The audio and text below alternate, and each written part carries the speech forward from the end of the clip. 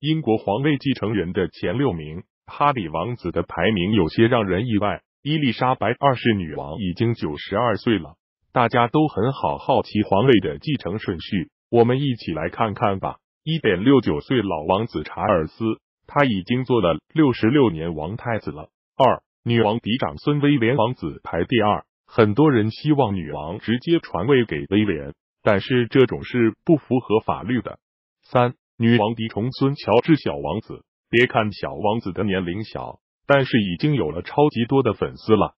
四，夏洛特小公主排第四，大家都说夏洛特神似英国女王。五，排名第五的可不是哈利王子，而是威廉王子和凯特王妃出生的第三个孩子。有人说凯特好幸福。前六位有四个都是凯特家的。